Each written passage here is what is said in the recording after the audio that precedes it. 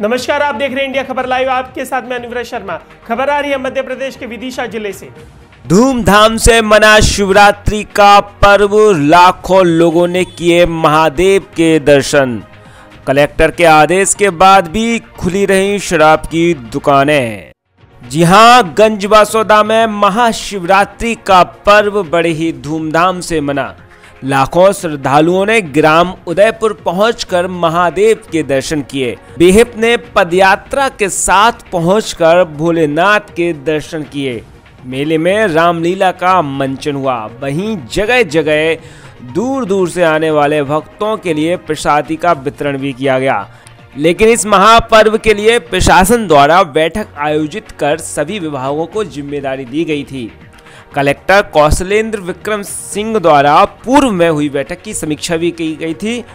लेकिन अबकारी विभाग ने कलेक्टर के आदेशों को नज़रअंदाज करते हुए शिवरात्रि के पर्व पर उदयपुर की शराब की दुकानें खुली रखीं, जिसमें बूढ़े बच्चे शराब की दुकान से शराब खरीदते हुए देखे गए।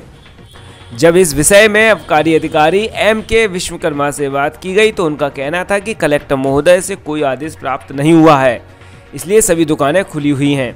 इस विषय में अबकारी ठेकेदार ज्ञान ओसवाल का कहना था कि आदेश के बारे में अबकारी अधिकारी से बात कीजिए।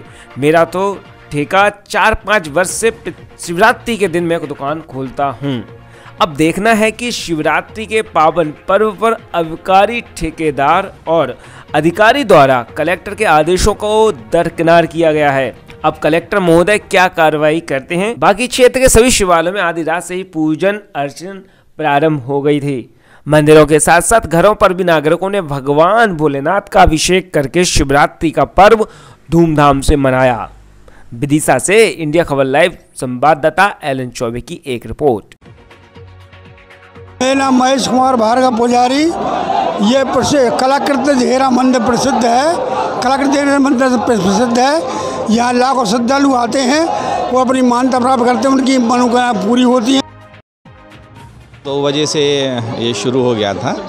और अभी तो भीड़ कम है। जैसे जैसे 12 बजे के बाद भीड़ का आना ज़्यादा शुरू होगा। और ये पीक आवर्स तक पाँच से छः बजे तक चले। लगभग ढाई सौ हमारा बल लगा हुआ है सभी तरीके का, जिसमें पुलिस भी है एस भी है एनसीसी भी है और लोकल वॉल्टियर्स भी हैं हमारे।